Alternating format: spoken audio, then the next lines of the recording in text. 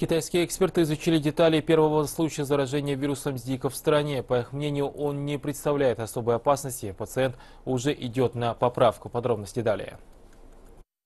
Первым пациентом, страдающим от лихорадки Зика в Китае, стал 34-летний мужчина из уезда Ганьсянь провинции Дяньси. Во время поездки в Венесуэлу в прошлом месяце он почувствовал симптомы Зика – повышение температуры, головную боль, слабость. Это произошло 28 января, а 5 февраля мужчина вернулся в родной город, сделав остановки в Сянгане и Шэньчжэне.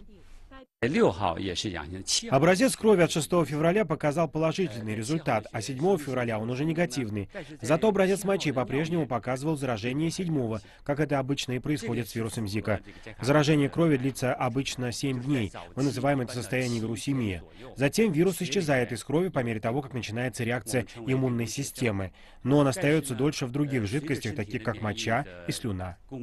Врачи говорят, что общественности не стоит беспокоиться. Вирус не передается через обыкновенные человеческие контакты, поцелуи или пользование одними и теми же столовыми приборами.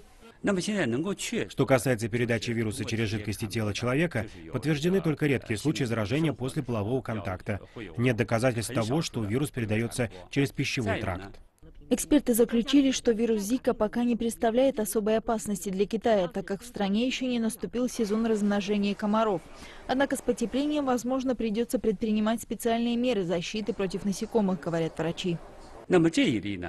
Этот случай был вызван укусом комара, так что тем, кто находился вблизи пациента на самолете, не нужно беспокоиться проходить обследование. Все, что нам нужно делать сейчас, это следить за количеством комаров.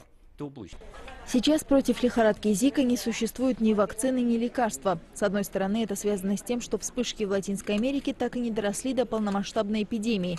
С другой стороны, зараженные взрослые демонстрируют очень умеренные симптомы. Вирус не угрожает их жизни, отметил Ван Юй. Анна Саникевич, Сиситиви.